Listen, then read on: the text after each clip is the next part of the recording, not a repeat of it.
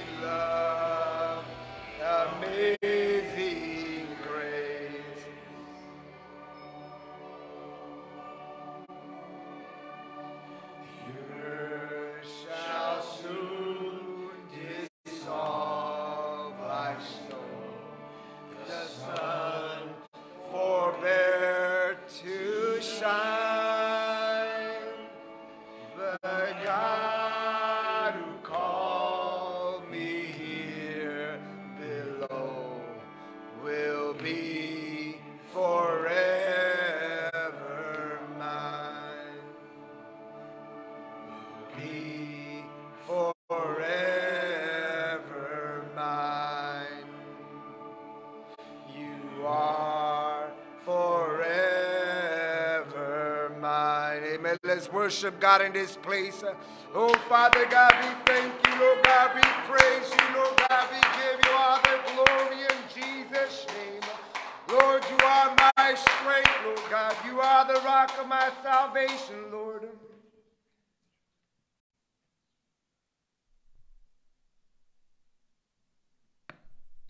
Amen. We're go before his presence and prayer in this place, believing God together for every need that is represented here this morning. If you have a need upon your heart, you can go and signify that with an uplifted hand, letting God see that need. And we're going to believe God together, amen, for every need in this place. I want to uh, continue to pray for uh, a number of needs, amen, that are uh, being brought before us. Want to uh, want to pray for uh, Sao Chuen and his family, amen.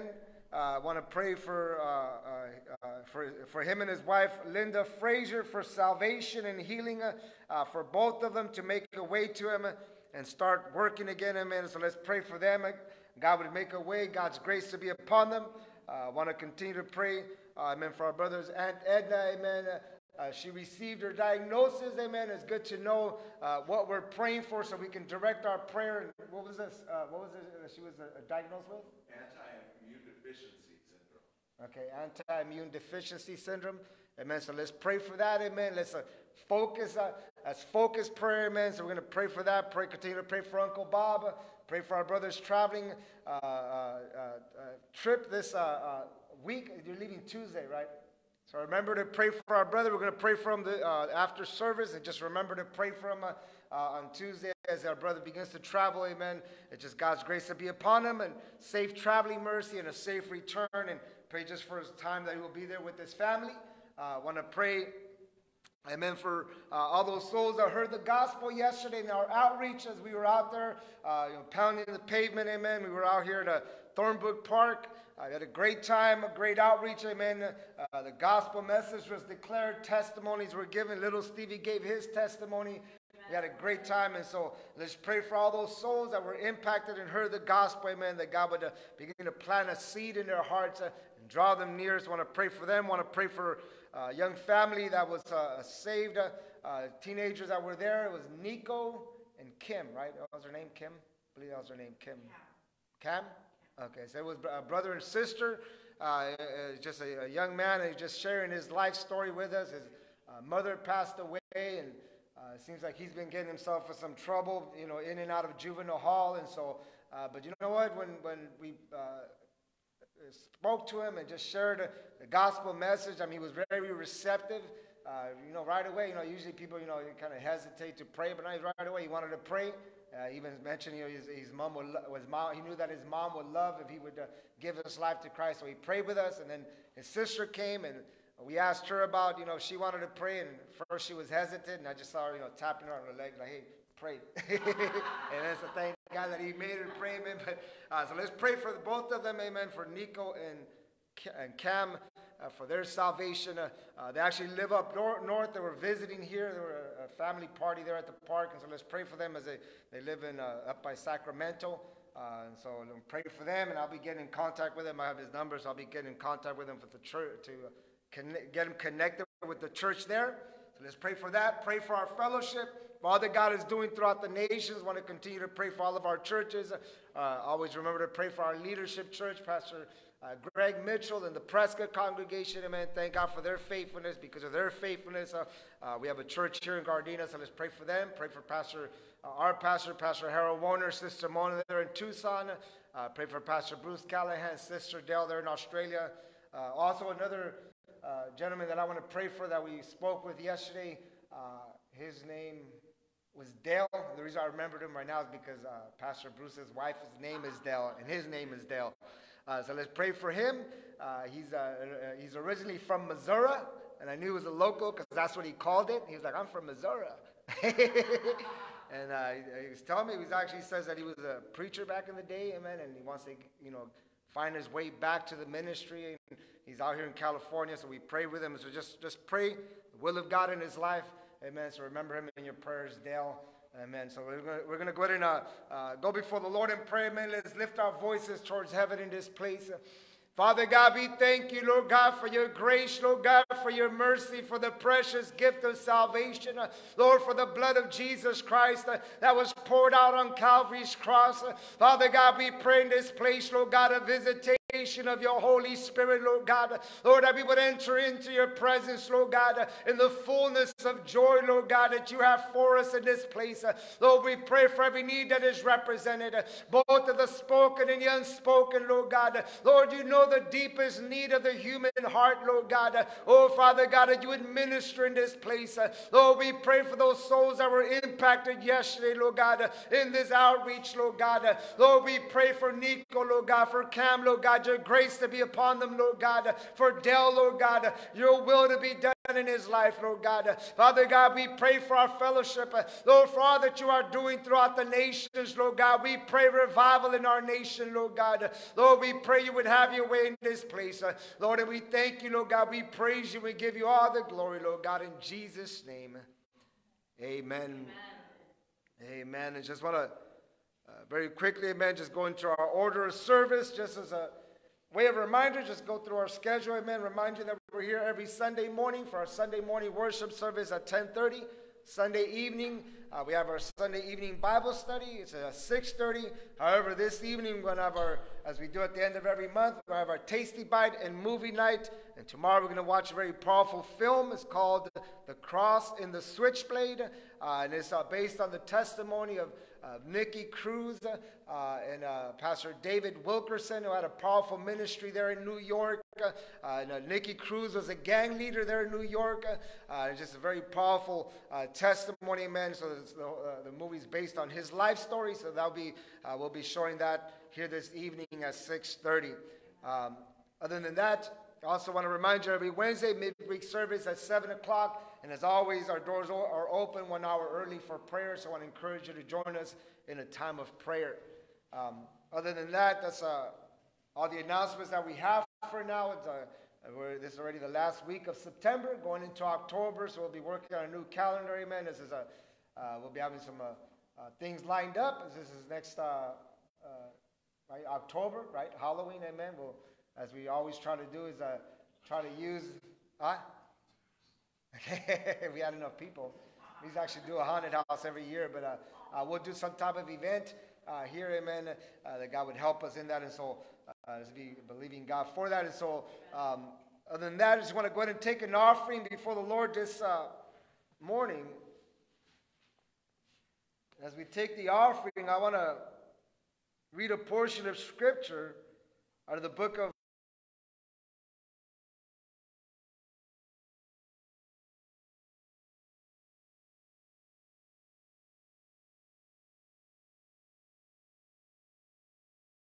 preaching this uh, morning, uh, and based on the pursuit of happiness and the things that we do in life to try to pursue the things that we believe that will bring us happiness. And as we talk about the pursuit, one of the most obvious of these is money, right? People pursue money because they believe that money will bring them uh, great happiness.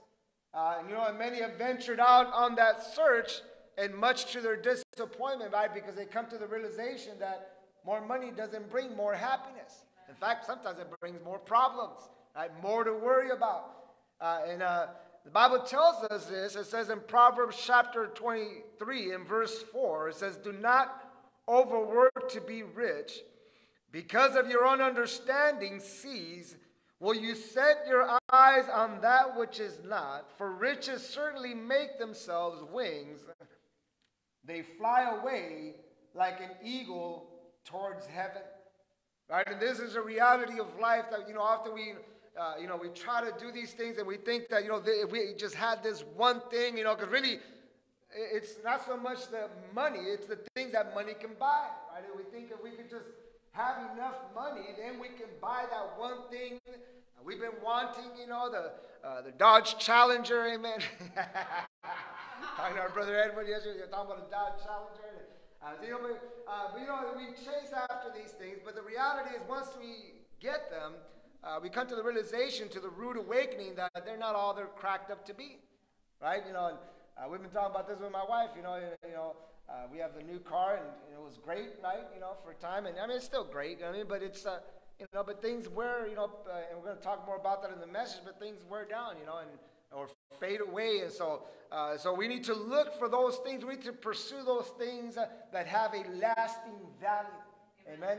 And uh, if you know anything about money, money doesn't have a lasting value, right? And uh, the fact that we're in a time of inflation lets you know that, right? A dollar today is not what uh, it's not worth what a dollar was a year ago, amen. So we've uh, lost value, amen. So let's search for things that are deep value, and that's why we invest in the kingdom of God, because the kingdom of God does not depreciate, right? It only appreciates, amen. It rises in value.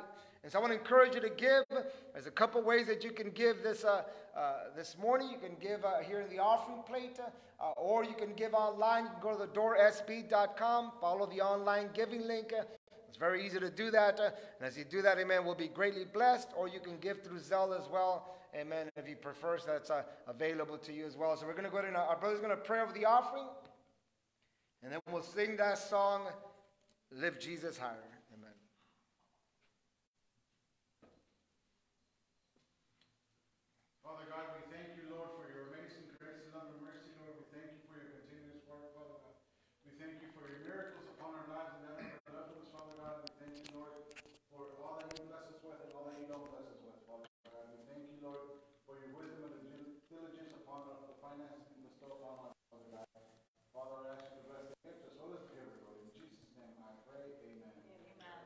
Amen. Let's lift Jesus higher. Lift Jesus higher. Lift Jesus higher. Lift him up for the world to see. He said, If I be lifted up from the earth, I will draw men unto me. Lift Jesus higher. Lift Jesus higher. Lift him up for the world to see. He said, If I be lifted up from the earth, I will draw men unto me. Amen. And with that, this uh, this morning, if you have your Bibles, you can up to, open up to the book of Philippians. Philippians chapter 4. And uh, we're going to be reading verses 4 through 7 out of Philippians. And I want to speak to you this morning about something that is one of the great motiva- uh, motivating factors of life that often drives us into various pursuits uh, uh, that we engage in in life, right? This thing motivates us to get up in the morning, go to work, right? Put in a hard day work, uh, you know, do all that we can, in, uh, uh, you know, to, uh, to, to work hard and uh, uh, earn a decent living. Right? It drives people into various career paths and to persevere in the face of difficulties to achieve success. Right? the same thing also drives us into relationships, right? To pursue uh, that uh, person uh, that we love and we, you know, uh, you know, and, uh, and, try to win them over. And uh, this thing that I'm speaking of drives us in that direction. And this, you know, thing is of such great significance and is considered so important that it's even enshrined into our Declaration of Independence. Right? And I already gave the spoiler alert in the, uh, offering, and that is what, what I am speaking about is the pursuit of happiness. Right, and that's uh, uh, enshrined into our Declaration of Independence uh, about the unalienable rights that we've been given to, that we've been given by our Creator, among which are life, liberty, and the pursuit of happiness. And this is what drives us in life. Uh, uh, you know, we are, uh, you know, it is at the root of all our pursuing. Uh, uh, we press on in the course that we believe uh, will bring us the greater, the greatest amount of happiness. Right? You know, as I mentioned, we think, know, if we have this one thing, if we have uh, this relationship or this, uh, uh, you know, we are able to achieve the, some great thing in life, that somehow these things will bring us happiness. Right? This is, as I mentioned in the uh, offering illustration, this is the allure of money. This is what attracts the people to uh, the issue of money. Right? Uh, uh it's the idea, you know, uh, you know, that somehow money can buy happiness. Right? And we've all heard the phrase, uh, money can't buy happiness. And some people have figured this out, so now they're trying to charge it, right? Because they don't have enough money to buy happiness. That they can uh, use their credit card and maybe uh, they can buy themselves happiness. Uh, but you know, the truth is uh, uh, that, you know, although money can accommodate uh, uh, and make life more com- comfortable, which uh, gives us moments of happiness, the reality is that none of these things are lasting. they are only temporary, and what we need is lasting happiness. Right? And this is why people get trapped in this kind of rat race in life, right? Chasing after something because it only offers us a, a momentary uh, time of happiness. And so I want to actually share a video with you. It was actually uh, uh, Stevie, actually, Stevie sent me this video. It's actually pretty powerful because it describes perfectly, and it, there's no words in the whole video. It's actually a little, a little cartoon uh, illustration of the rat race, and without words, it speaks a, a very powerful message uh, about the pursuit of happiness. And so I want to go ahead and uh, play this video for you, but just as a warning, there is a one questionable scene, not questionable, that's like kind of not cool, but anyways. And see, now that I tell you, you're gonna be looking for it. But it's very, very brief. But uh, overall, the message is good. And so I will go ahead and uh, play this for you.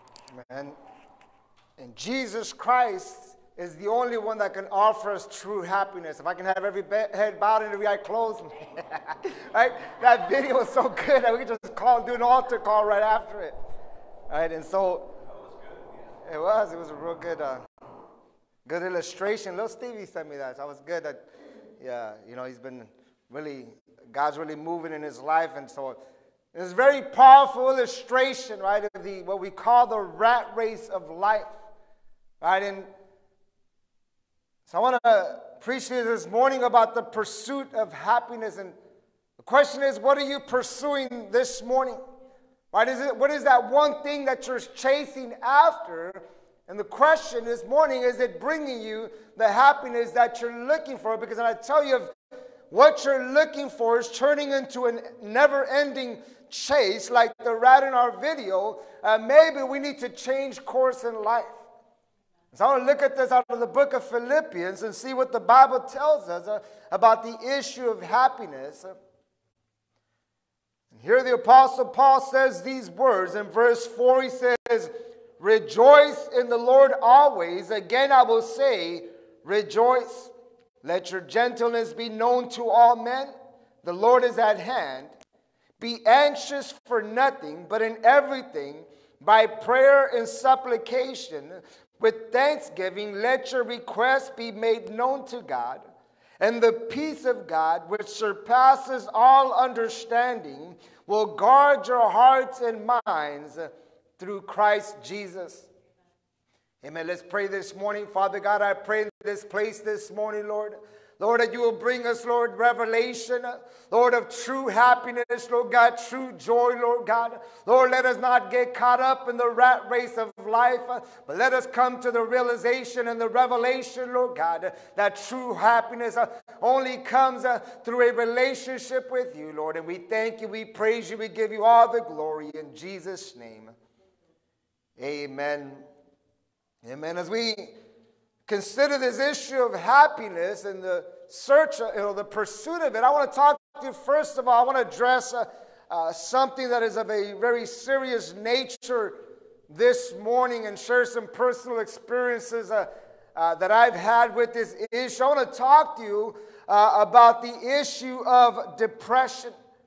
Amen. Because, uh, you know, depression really is a serious problem in the time in which we live in. And depression is the uh, feeling of deep sadness, right? Is that, uh, uh, in fact, the dictionary defines uh, uh, depression as the state of feeling very unhappy and without hope for the future, right? And when this condition, when this a feeling of deep sadness prolongs uh, uh, and goes on for an extended uh, period of time, uh, uh, this is considered uh, a, a, clinical depression or a mental condition, right? And, and, and there's many people that suffer from depression in the time in which we live in. And in fact, here's some facts about depression.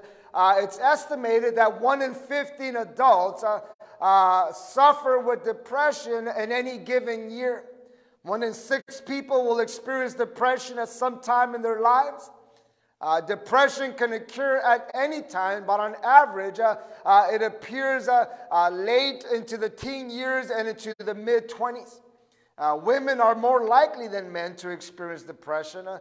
And some studies show that one third of women will experience a major depressive episode in their lifetime.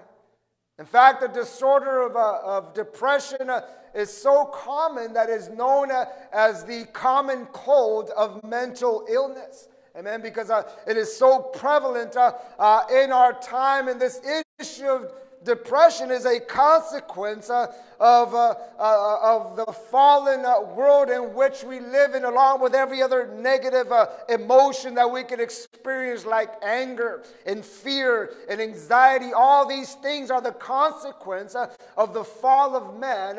as sin entered into the world, it disrupted our emotional well being. See, we were not created to experience depression. We were created uh, to experience uh, joy and peace, uh, uh you know, and uh, uh, just as in the relationship and in the presence of God. But because of sin, it introduced this issue into our lives.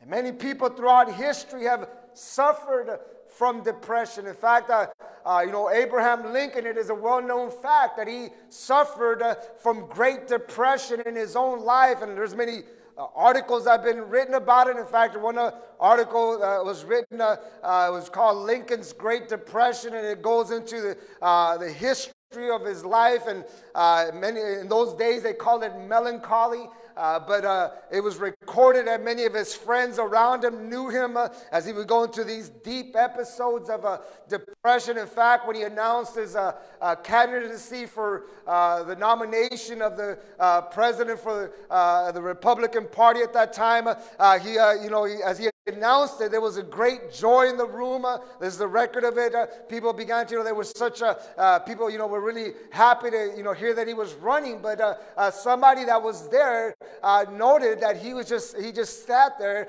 just with this sullen look in his face because, you know, he suffered from this great depression.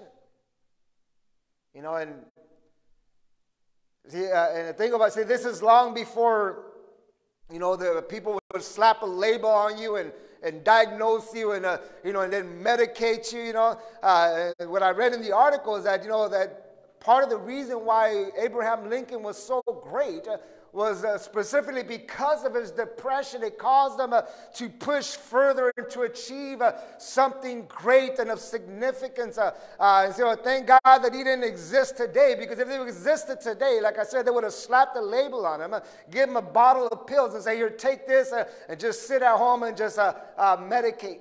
Right? And see that in those days they didn't have that, uh, and so uh, Lincoln uh, had to reach deep down within uh, uh, you know, and he was a man of faith, amen, as you begin to read his history, you know, uh, so, uh, you know, Lincoln has something greater, amen, but uh, as I mentioned, uh, this is, you know, the reality of life is that depression has affected many people, right, and like in Lincoln's story, we don't have to allow dep- depression to hold us down. In fact, even you'll be surprised, but even in the Bible, uh, many of the heroes of faith, great men and women of God, suffered with depression. One of these was King David, right? In fact, if you read uh, the book of Psalms, uh, uh, you'll often read many of the scriptures, and uh, you can't help but come away with uh, uh, the fact that here's a man that dealt with the issue of depression, right? Psalms chapter 1, verse 3. He writes, he says, My soul is in deep anguish. Uh, how long, Lord? How long? And he's here crying in anguish. In Psalm 6, verse 6, the Bible says, All night long, this is David writing, all night long I flood my bed with weeping and drench my couch with tears. My eyes grow weak with sorrow. They fell because of all my foes. Psalms 13, verse 1. How long, Lord? Will you forget me forever? How long will you hide your face from me? How long must I wrestle with my thoughts uh, and day after day have sorrow in my heart? Uh, how long will my enemy triumph over me?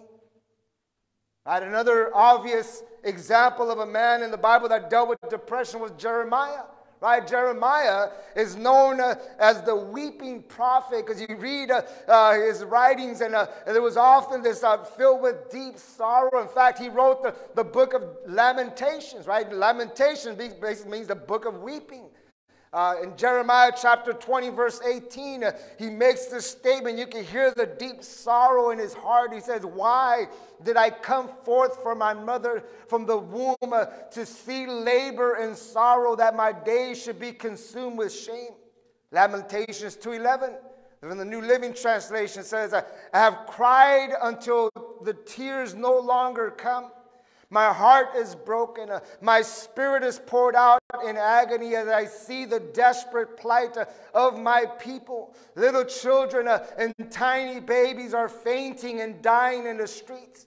See, Jeremiah was uh, writing this at a time when the people of Israel had been taken uh, uh, into captivity, uh, into Babylon, and made uh, to serve as slaves under the Babylonians. And so here Jeremiah is seeing this and he's crying out. So, talk about depression. Right? And even our own Lord experienced uh, his own share of sorrow. Right? And Mark chapter 14 and verse 34, Jesus, uh, as he's uh, facing the cross, as he's getting ready uh, to, uh, you know, to, uh, uh, to, go to, to go to Calvary, where he's going to be crucified and experience, you know, the pain and the suffering. he says these. Says, then he said to them, he's speaking to his disciples. He says, "My soul is exceedingly sorrowful, even to death." Right, so depression is something that has existed, uh, as I mentioned, since uh, the fall of man. Right, and we've all experienced depression at some point. Right, this is a common experience. And sometimes it can be brought around, uh, it can happen uh, because of a specific tragic event, right? Something happened in our lives, maybe the loss of a loved one, or maybe uh, it's our own personal failures, maybe something that we did, uh, uh, we failed, uh, whether it's a moral failure or whether it's just something else that happened, uh, and this brings a sorrow to our life, or it could be a series of events, a combination of things uh, that mount up uh, and bring us to this place of sorrow. For me, I can trace back my depression uh, uh, to uh, an event. for me, it was the death of my brother. You know, it's one thing that, uh, uh, you know, I, I, have suffered with in my life. Uh, I have suffered with depression. Uh, uh, and I remember when it, uh, when it happened, it happened after, after my brother passed away. You know, my brother was like a father to me. Growing up without a father, you know, he, uh, I looked up to him. He was, uh, uh, you know, the one that took care of me ever since we were in Guatemala, came here to this country. He looked out for me. I really looked up to him. And so when he, uh, uh, when he was killed, uh, uh, this had a deep impact on my life.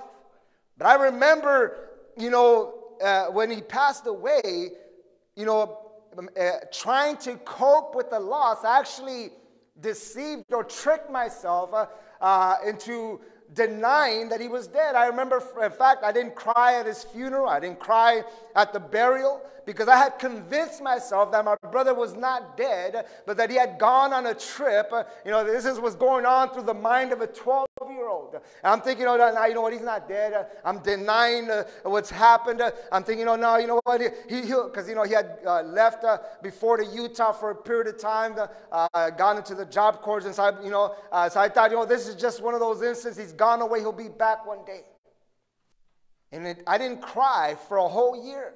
It wasn't a, until a year later, I remember uh, uh, my uh, nephew, who was only a year younger than me, we were, we were like best friends and we really enjoyed being around one another. And I remember he came to visit me in Gardena because at that point we had moved out of LA. Uh, my mom had moved us out of there, brought us here to Gardena. Uh, and I was uh, here, and I remember my cousin came to visit me. And every time we would get together, man. We would laugh and just have a great time. And uh, I really enjoyed being around him. But I remember this one time he came to visit me, and after he left, all of a sudden I was filled with this deep depression because for the first time it hit me, uh, uh, you know, that my brother wasn't coming back. And I just remember being overwhelmed with this deep sadness uh, and depression in my life. Uh, for the first time, I felt uh, utterly alone. Right? I know what depression feels like, uh, that drowning feeling uh, where you're gasping for air. It literally feels uh, like you're drowning. Amen. And, I, and, you know, from that time on, uh, I began to deal with bouts of depression. Uh, and that depression took me in different uh, uh avenues. It took me down a, a path, uh, amen, to drugs uh, and alcohol and the gang life because I was trying to flee from that depression. And we've all experienced these things in our life.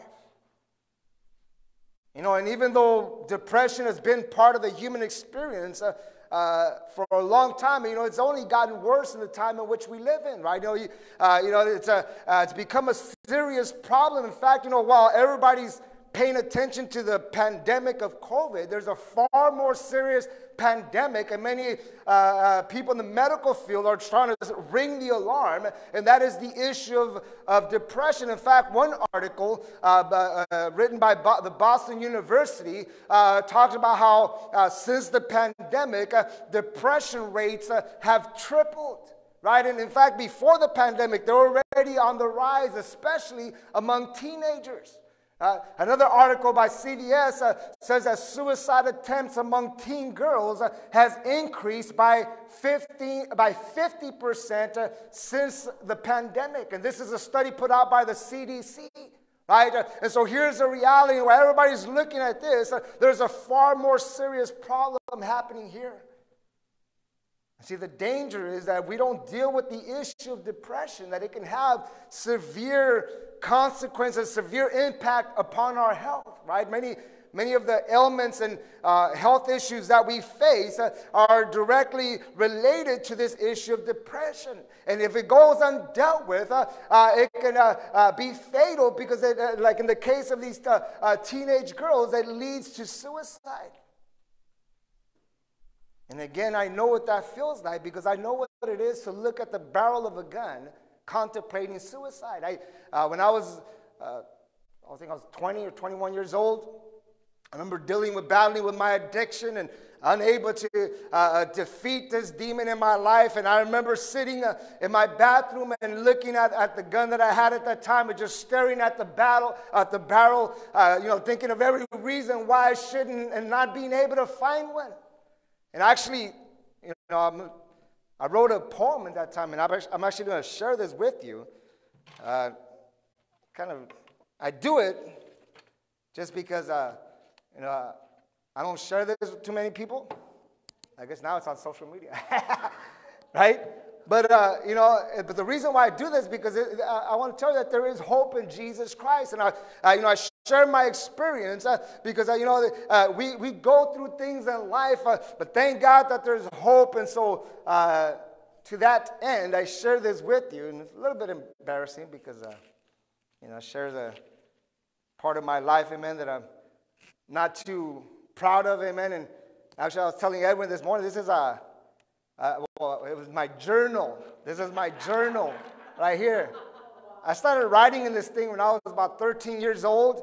Uh, and it's kind of a trip because you read it and you, you, kind of see the progress of my life as I started.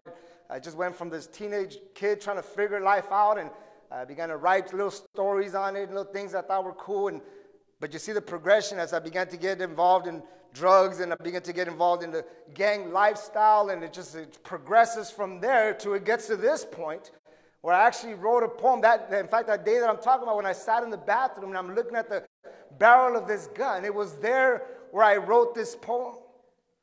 And the title of the poem is Staring at the Barrel. And uh, I'll bleep, there's a cuss word in there, so I'll bleep it out. it says, Many times I've gotten away, so I thought, from death, when in reality I've been riding right alongside of it all along. You make your own destiny, no one else. This time I'm not getting away, for I'm standing at point blank range. I can't die, not now. I got a son to raise, and I'm leaving people who love me behind. Though I hurt them very much, life means nothing without her. So, as you know, I had broke my, my wife, my girl had left me at that time. I was deeply heartbroken. And it says, Life means nothing without her. Staring at the barrel, I scream, I love you, Griselda. In the back of my head, it's for the neighborhood that I die, the neighborhood I cry. As much as I want to beg for my life, I can't, for it's my finger on the trigger this time. I'm just one more bleep in this world. Bang. It ends with that. Hopefully I haven't, de- Hopefully I haven't depressed you too much with that. I was a creative sinner.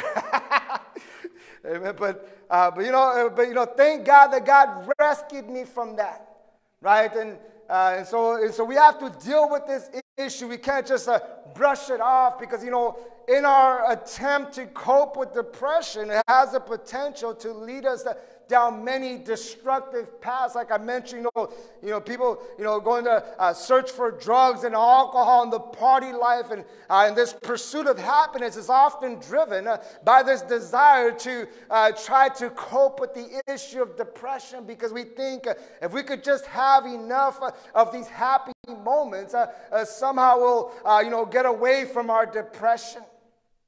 So I want to talk to you secondly about the illusion of happiness. Because many of us are like that rat in the video that we're constantly chasing after those things that we believe will bring us happiness. But unfortunately, like the rat, we find we often realize that we're chasing an illusion.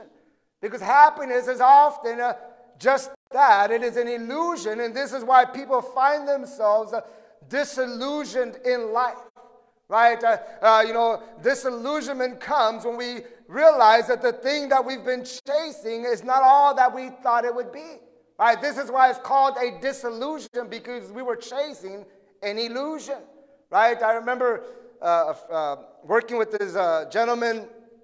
Uh, he had immigrated from Mexico to America. He actually was he actually owned his own business in America. He had a, a factory, and not America, but in Mexico, he had a, a factory that produced some type of plastics, and uh, he was a successful business owner at the time. But uh, due to great tragedy, uh, you know, he ended up losing his business in a fire.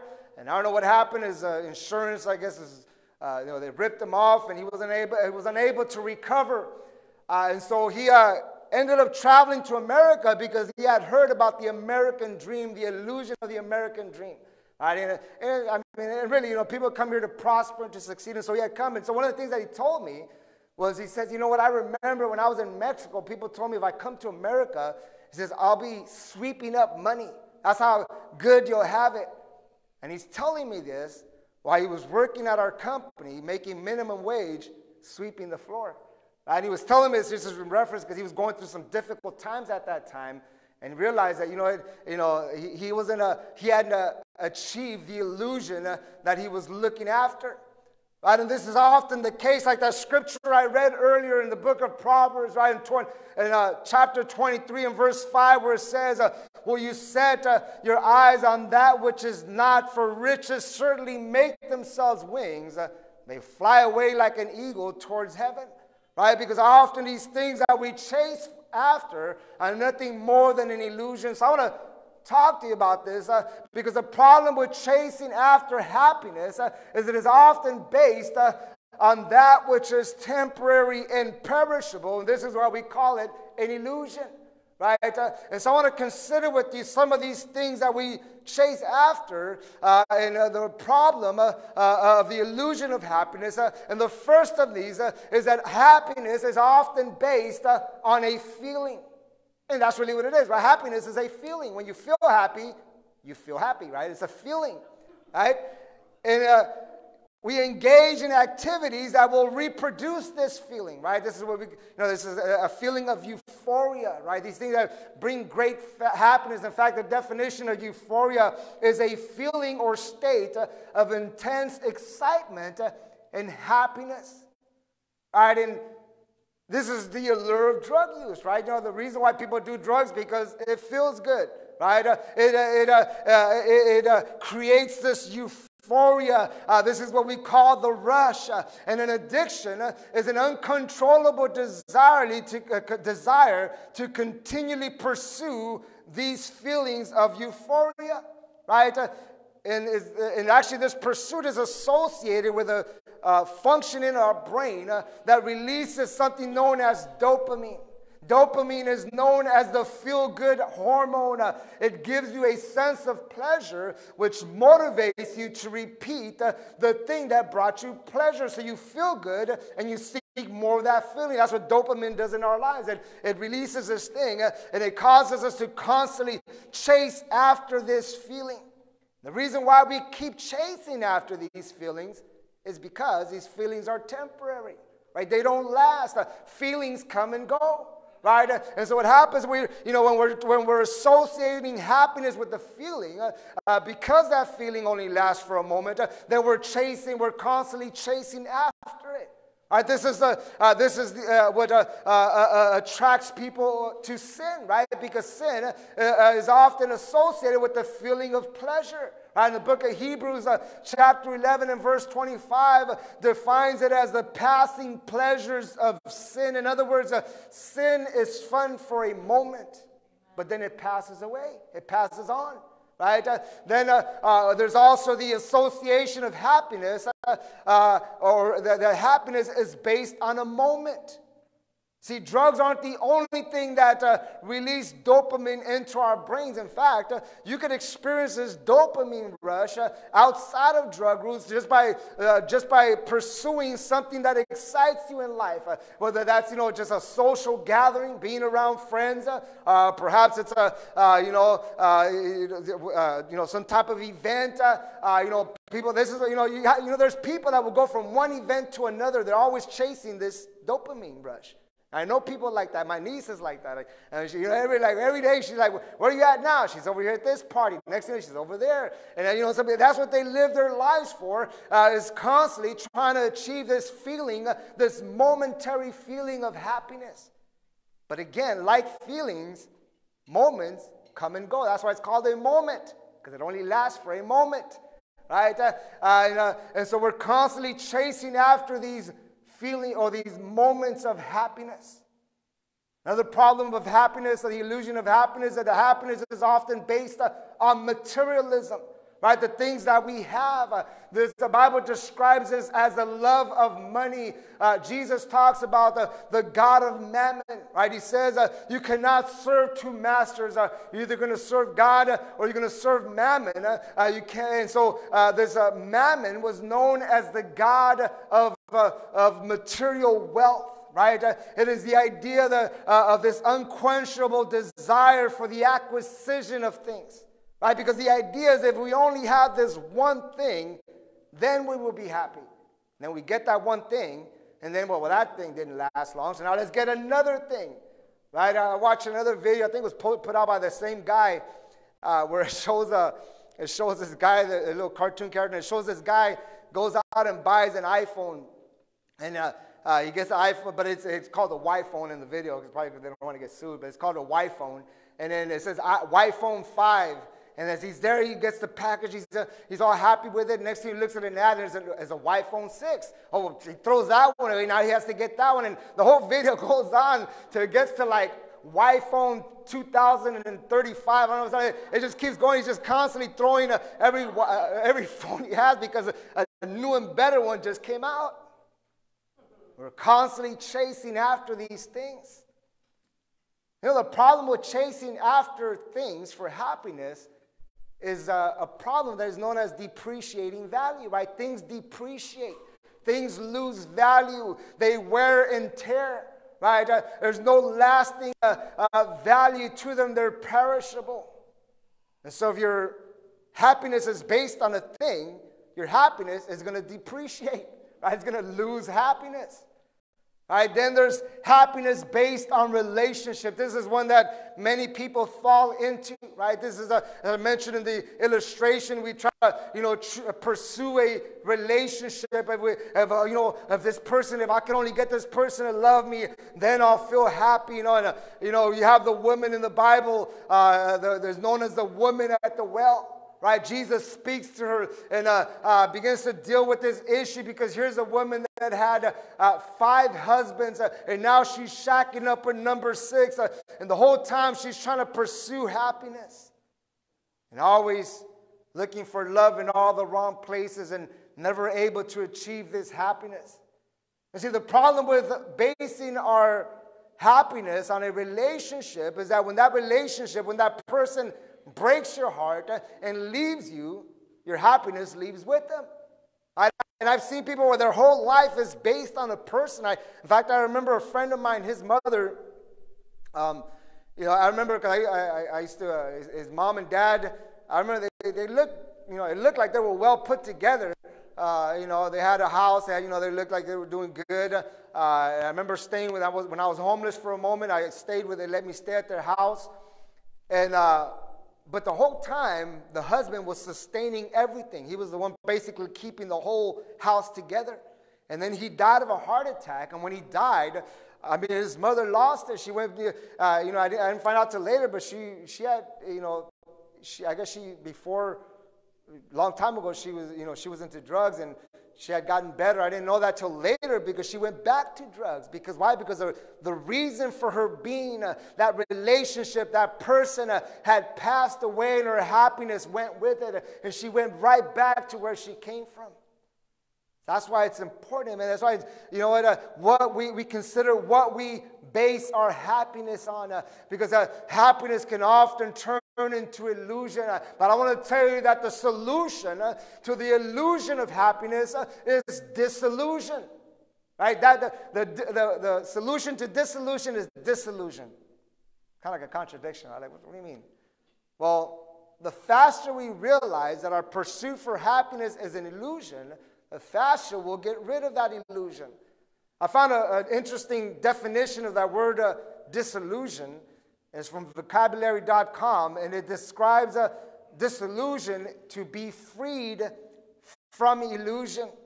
And it goes on to say this commentary says people who are disillusioned have lost their illusions. This is usually meant in a negative way, as disillusioned people tend to end up bitter in life. However, when you're disillusioned, when you realize you're, the disillusion is actually freeing you from your illusions.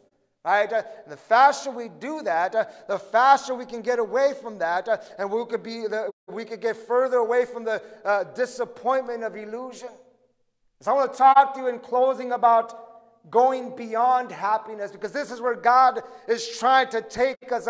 He's trying to take us to a place beyond happiness. Right? Because once we are free from the illusion of happiness, uh, we can move beyond it uh, to a place uh, that God wants to bring us. Uh, and this is a place of everlasting joy.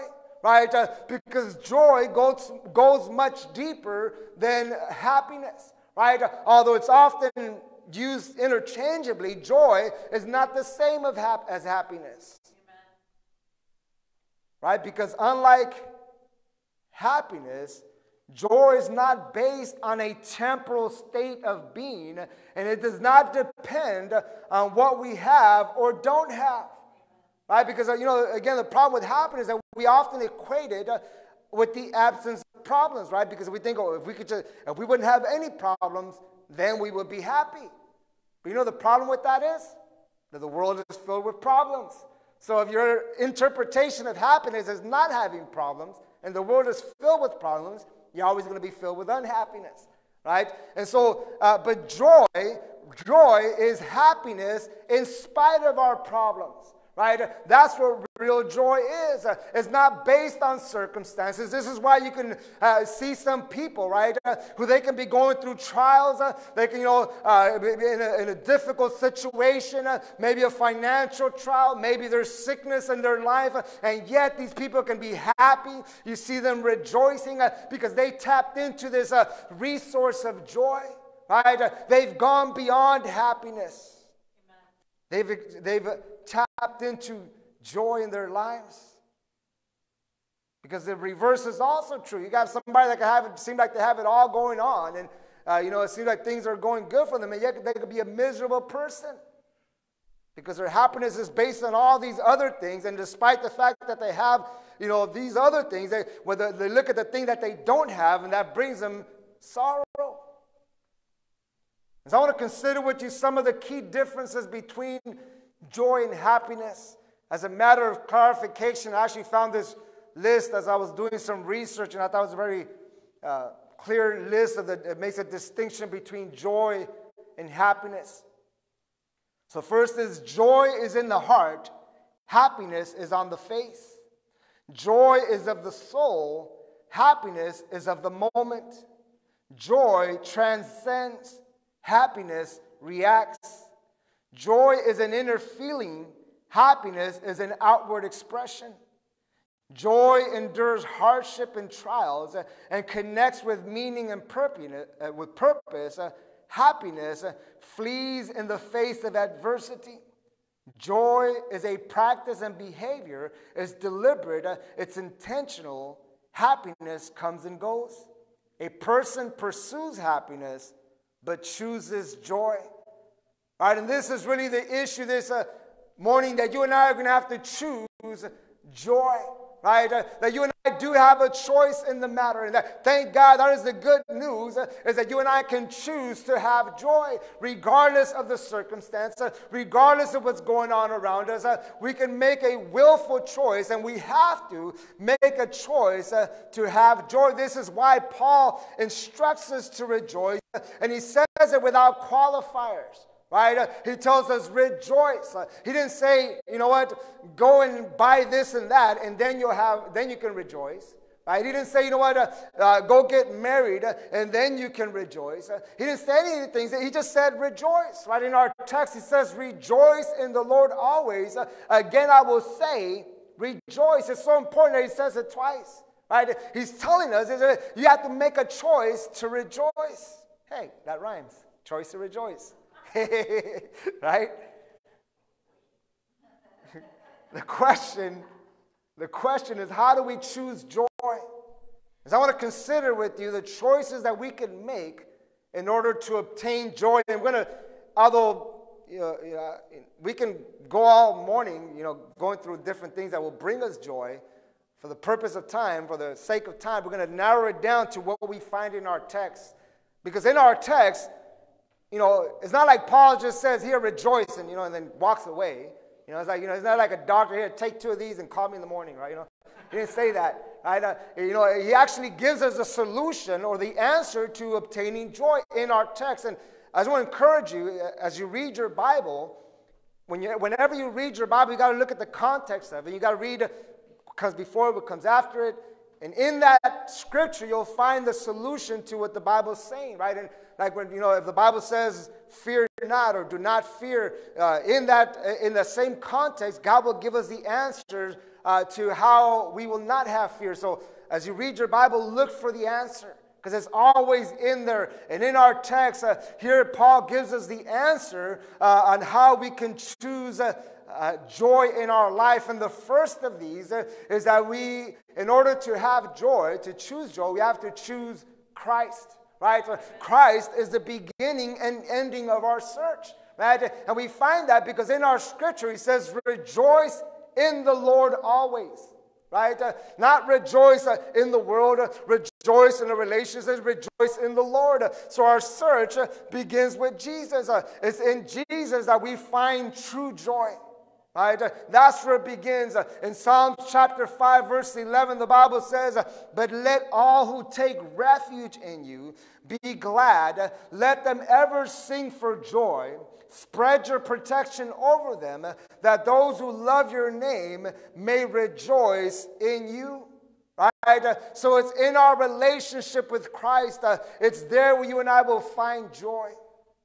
Secondly, we can, find, we can choose joy by choosing prayer. Right? Uh, verse 6, the Bible says, Be anxious for nothing, but in everything by prayer and supplication. Right? Uh, in other words, we don't have to let our, dict- our, our, our uh, circumstances dictate our mood. Instead, what we ought to do is pray. Right? Whenever you're in a circumstance, situation, a difficulty, the first thing we need to do, rather than run to anxiety or run to depression or run to fear, the first thing we do is just pray about that situation. And you know, and the Bible says prayer and supplication. Now, you know, supplication is not some, you know, lame prayer that we know, oh Lord, help me. You know, it's not like that. It's like supplication is actually oh, praying fervently, right? God, you got to help me with this. God, it's pressing through. That's what supplication is. And so that's where we need to run to. We need to choose, amen, uh, to pray rather than allow the circumstances uh, uh, to affect us uh, in such a way that it'll affect our mood. Prayer brings joy because prayer brings us into the presence of God Himself. That's what, that's what prayer supplication does. It brings us into His presence. Right? Psalms chapter 16 uh, and verse 11 uh, You will show me the path of life. In your presence is fullness of joy. At your right hand are pleasures forevermore. Third, we need to choose gratefulness. Right? In our scripture, notice it says, uh, uh, it tells us that, uh, uh, that we need to approach every situation by prayer and supplication with thanksgiving. Right? It's not only praying for our needs. It's not sitting there just, oh, God, I need this, God, I need that. No, but it's thankfulness. it's a grateful heart. and you know, in science, has actually come into line uh, with what the Bible says, and they've done some research uh, uh, about this, uh, uh, about the fact that there's a, a, direct correlation between being grateful and happiness. In fact, there was a Forbes ad, uh, article that was written about this called Gratitude is a Key to Happiness. and in this article, the writer makes this point, and it is based on a research that has been made in this area, and it talks about this direct correlation. Right? It says happiness can seem elusive sometimes, uh, especially during hard times, uh, but there's surprisingly, uh, but there's a surprisingly accessible pathway to contentment, joy, and positivity. Gratitude studies demonstrate uh, that gratitude is associated with all kinds of goodies like satisfaction, health, well being, and happiness. Right? And, and, these are, you know, so science is just catching up uh, to what uh, the Word of God has already told us. So we could choose to be grateful. It's one of the things I do every morning. My wife sometimes makes fun of me because she says I'm doing yoga or something. But uh, every moment, every morning, one of the first things I do for five minutes, I do my stretches because they help me. There's actually, they, have helped me with my back problems. So I do it every morning. I do my little stretches. I don't care what people call it, yoga, whatever. I, I just do my stretches. But in that, but the best part of those stretches, I think, not the stretches itself, but it's, uh, uh, it's, the, uh, uh, it's the fact that during that time, during those five minutes, I actually take those five minutes, and I tell her it's not yoga because I'm, I'm, I'm, actually thanking God uh, during those five minutes. And that's what I do in those five minutes. First thing in the morning, I stretch and I thank God for, you know, I thank God for my family. I thank God for my well being, uh, uh, my wife, uh, amen. My wife, amen. I thank God for my wife. I thank God for this church. Believe it or not, I thank God for every one of you right? Uh, and, because and, and, you know when I if I don't do that in the morning, I know my day isn't. Uh, I notice my day isn't as as, as a pleasant. Uh, amen. But there's something about being grateful, amen, that, uh, that brings joy and happiness into your life. So if we're going to choose joy, we're going to need to choose to be grateful. And finally, if we're going to choose joy, we're going to need to choose to bring joy to others. And I believe that is a key element, amen, that there's something about bringing joy to other people that brings joy to yourself. Uh, you know, you know, you know, you ever been to around a person that's positive and cheerful, and a, and uh, you know, there's something uh, about being around them that brings joy to your own life, uh, and those people are cheerful because they're bringing joy to you. Right? Uh, and in our scripture in verse 5, it says, Let your gentleness be known to all men right? Uh, uh, and so, uh, in that word uh, gentleness, another, the, the, Amplified Version translates it this way. It says, here's an Amplified Version. It says, um, let your gentle spirit, your graciousness, your unselfishness, your mercy, your tolerance, your patience be known to all people right? That, that when you show these things, you know, uh, there's something about that that brings joy to others and brings joy to yourself. Right, and you know, uh, you know, and, uh, and, the, and we, have to make a choice tonight because uh, there's the opposite of that, right? There's people that suck the energy out of the room right? It's like they're all, you know, they're constantly dragging others down. And you know, these are just miserable people. I work with some of these people. no matter what you do, you can't uh, please them. And that's one of my problems that I have is I'm a people pleaser and I'm constantly trying to please these people, trying to, you know, but I, you know, there's some people just, there's no pleasing them. So to need to choose to bring joy. And it's this joy that the Lord wants to bring us to right? A, a joy that is content in our relationship with Him. John 15, verse 11, uh, he says, I have told you these things uh, so that my joy may be in you and your joy may be complete. Right? Thank God that you and I don't have to get caught up in the rat race of life. Uh, but when we come to this revelation uh, that Jesus Christ is our portion uh, and that everything we will ever need in life uh, is found in our relationship with Him, uh, when we come to that revelation, uh, the search ends. We're no longer trying to go out there and trying to obtain things and trying to search for this and trying to do that, but we, we're content in our relationship. And see, the thing is that if you and I are not careful, right, that we can begin to look beyond our relationship. Right, we can begin to look to other things, uh, you know, uh, and, and, this is, and actually this is what happened to David, right? Uh, you know, we mentioned earlier that David battled with depression, and it's very possible that much of his depression was self-inflicted uh, because of his, of his own moral failures, because uh, he found himself searching beyond his relationship with God. And this is what happened uh, when he committed adultery right? Uh, and because of that, and, and out of that, uh, uh, we have Psalms chapter 51 where he's praying uh, for forgiveness uh, and he's crying out to the Lord. Uh, and he makes this statement in Psalms 51 and verse 12. he says, Restore to me the joy of your salvation and uphold me by your generous spirit. The good news is that God can restore our joy. Amen. Because there's going to be times when you and I are going to go through things uh, and we can take our eyes uh, off of the Lord uh, and we can allow these situations to bring us down. But you and I can set our eyes back on Jesus uh, and He can restore our joy. That's a wonderful thing that you and I can tap into this thing of this resource of joy at any time. We don't have to wait for an event. We have to wait for, you know, when we do this, then we'll be, no, no, we can tap into it right now.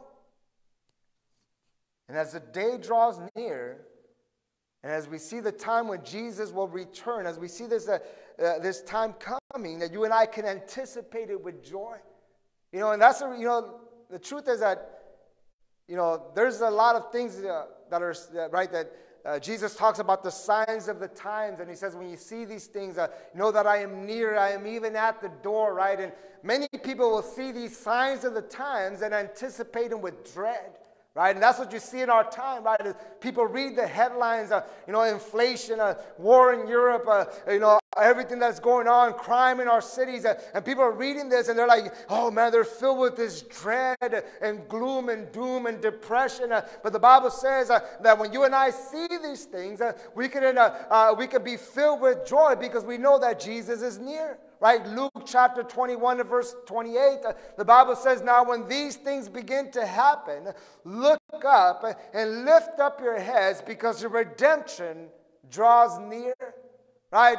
The purpose of our, the cause of our joy, Jesus uh, himself is drawing near. And this is why Paul exhorts us uh, in, our, uh, in our text uh, where he's telling us to rejoice. And he reminds us, uh, he says, the Lord is at hand. And this is how the early disciples would encourage one another, actually. They would, they would, uh, there was a, an Aramaic phrase that they would use, which was Maranatha. Right? Uh, and the, the word Maranatha means, uh, uh it means the Lord, our Lord come. Right? Uh, and it was a reminder to every one of them, hey, Jesus is coming. Right? We can rejoice uh, no matter what you're going through. You can endure persecution. Uh, you can go. You can, uh, uh you know, endure these things because Jesus is coming. Amen. amen. And with that, this morning, Amen. I want to encourage you, man, to choose joy. Right? Choose Christ, Amen. That you and I can tap into this resource, Amen, and, and just have a blessed life. Amen. That's what the whole Beatitudes are, uh, are about. Uh, it's about choosing the blessed life, right? Uh, or it says, Blessed are the poor in spirit. Right? Uh, blessed are those who mourn now. Blessed are they, because uh, uh, another translation, actually, the King James put it, happy is he, right? happy is he that is in it. It goes on, and instead of says blessed, it says happy is he, right? and this is what we have in Christ, amen. Real joy. And with that, amen, if I can have every head bowed and every eye closed in reverence to God and respect your neighbor. This morning, we talked about the issue, amen, of depression and the severe effect that could have on our lives. Well, we also talked about the solution to that, and that solution uh, is found in a relationship with Jesus Christ. And that through that relationship, you and I can tap into the resource of joy. We don't have to wait uh, till you know till we get this uh, uh, till we have enough money to buy that or, or we have to wait for a certain relationship. Uh, no we, you know we can tap into that resource right now even in the midst of trials uh, that you and i can rejoice. Uh, that's why paul says rejoice in your tribulations. Amen. So i want to do one thing before we move forward. I want to give that invitation to come into that relationship with jesus christ Amen. To come to know the joy giver. Amen. And so if you're here this morning and you're not saved, you're not born again, but you want to do that, you want to receive Jesus Christ as your Lord and Savior. If that's you this morning, if you can simply lift your hand, and we will gladly pray with you. Anyone in this place unsaved or backslidden, you want to rededicate your life to the Lord, amen. If that's you, you would lift your hand and we will gladly pray with you this morning. Very well, this uh, morning I want to do one thing. I want to address those of you that are listening online. And then perhaps you want to respond to this call and you want to pray with us. I wonder if you would uh, uh, repeat this prayer with us. You would say, Lord Jesus, I know that I'm a sinner and I need you to forgive me. I believe that you died on a cross for me, that you shed your blood, and by your blood, I am forgiven of all my sins. I believe that you rose from the dead. And by the power of your resurrection, you can come into my life and change my life. I confess you as my Lord and as my Savior. And right now, I surrender my life to you. In Jesus' name, amen. Father God, we thank you, Lord God, for your grace and your mercy, Lord God. We thank you, Lord God, Lord, for the joy that there is in a relationship with you, Lord God. Lord, help us uh, to come to this revelation, Lord God, uh, that true joy and true happiness uh, is only found in you, Lord God. Uh, that we would not look after the things of this world, Lord God, uh, but Lord, that we will continue to pursue you in this place. Uh, and Lord, we thank you, we praise you, Lord God. We give you all the glory and all the praise uh, in Jesus' name. Amen. And so I want to do one thing before we close this evening, this morning. I want to just take this time for time of prayer, amen, and just meditating on God, amen. And I want to go ahead and uh, as we do that, I just want to uh, we're going to sing that song, Amazing Grace, amen. If you're not praying, you could be singing and worshiping, amen.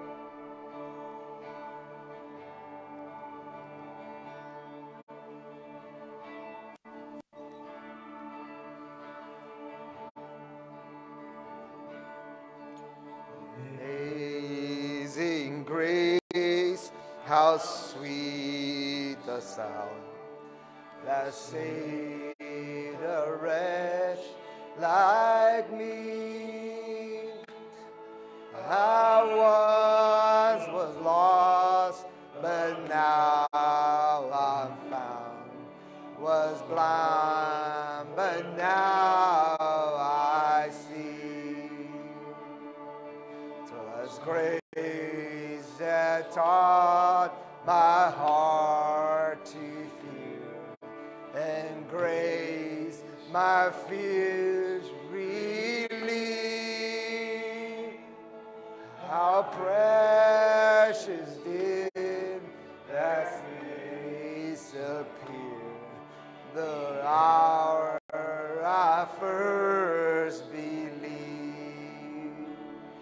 My chains are gone I've been set free.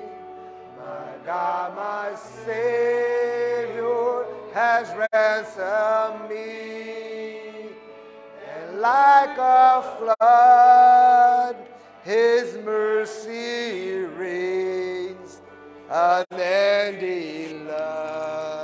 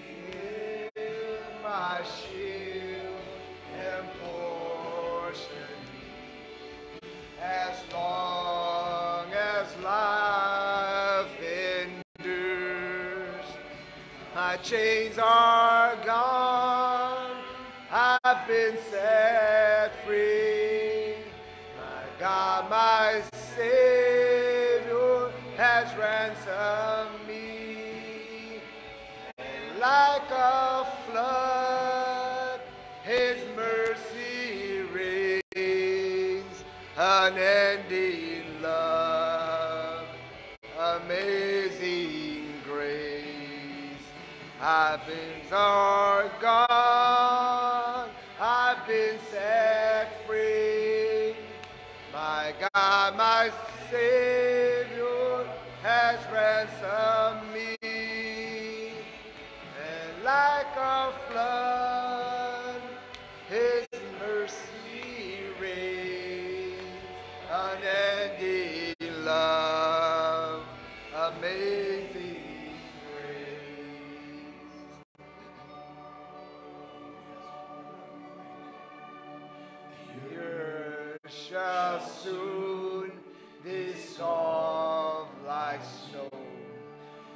uh,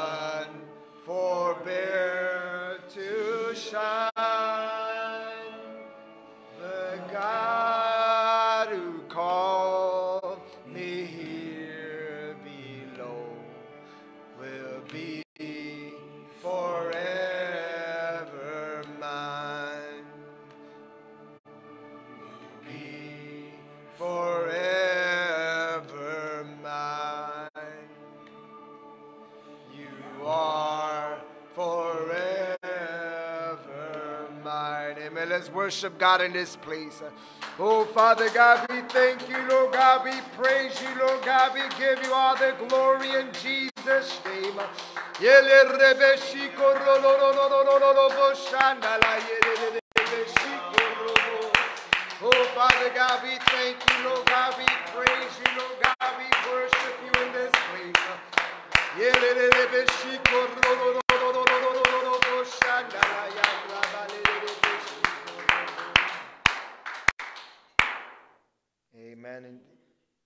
That's one of the joys of uh, worship, amen. Because joy, you know, worship is is is an opportunity to show our appreciation, amen. To thank God. That's what praise and worship is about, and that's why there's there's uh, there's a joy in that. Right, and the Bible tells us that God inhabits the praises of His people, right? So not only uh, does it bring just the joy of gratitude, but also the joy of being in His presence. All right, and you could and you can have that presence at any given time. You know, you're at home, whatever. You know, you can you can have your own worship service at home. Amen. You don't have to wait till Sunday. Amen. You can have worship service at home. Amen. So I encourage you to do that. Amen. And walk in that, and you'll be blessed in that. And uh, just a wonderful thing. So we're gonna go to uh, before we close. Uh, I want to do a couple things. Amen. First of all, Amen. I want to pray for our brother John. He's gonna be. Uh, as you know, he's going to be traveling uh, back home uh, to, to visit his family uh, back in Virginia. Amen. He's going to take a long. That's a lot of miles, amen. That's a whole country worth of miles. amen. So uh, I want to take this time to pray for our brother, just for safe traveling mercy, uh, and just that God uh, visit him with grace as he visits his family, and all to go well. Amen. So let's do that and stretch our hands out towards our brother. We're going to pray and believe God together.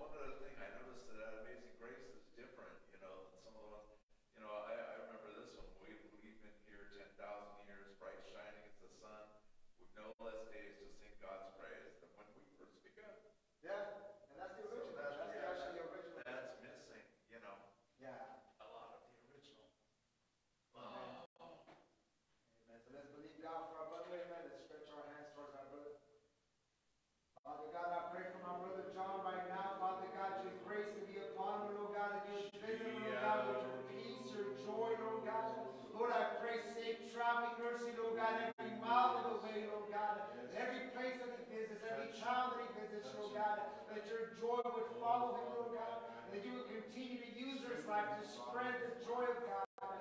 Lord, we thank you for our brother. I pray your grace to be upon him with his family, Lord God. We pray for his family back home. Lord, that you would overshadow them, protect them, Lord God. Continue to visit them, Lord God, with your grace. I pray for our brother's safe return, Lord God. And Lord, that we will continue, Lord God, to enjoy, enjoy our brother's presence in his grace. We thank you. We give you all the glory in Jesus' name. Amen. Amen. Thank you. Thank you so much. Amen. So the second thing I want to do is I want to pray for our sister. Amen. Don't do you? Huh? Don't do you?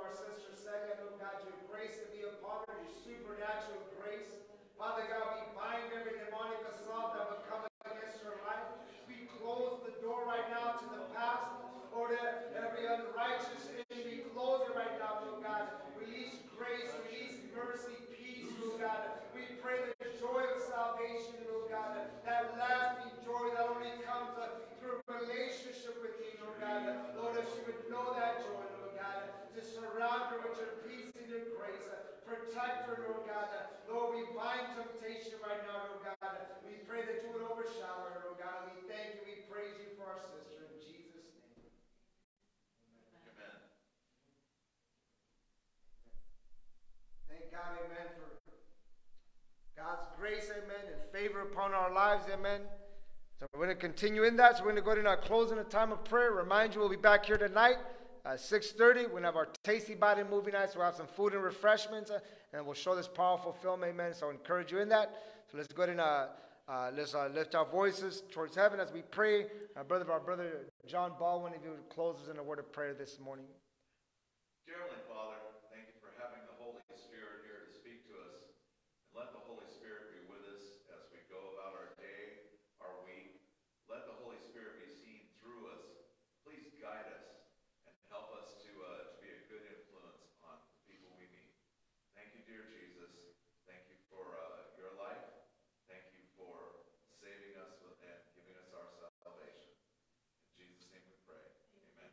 Amen. Amen. Let's lift Jesus higher in this place. Lift Jesus higher. Lift Jesus higher. Lift them up for the world to see. He said, If I be lifted up from the earth, I will draw all men unto me. Lift Jesus higher. Lift Jesus higher. Lift them up from the world to see. He said, If I up from the earth, I will draw men unto me. Amen. You be blessed this morning.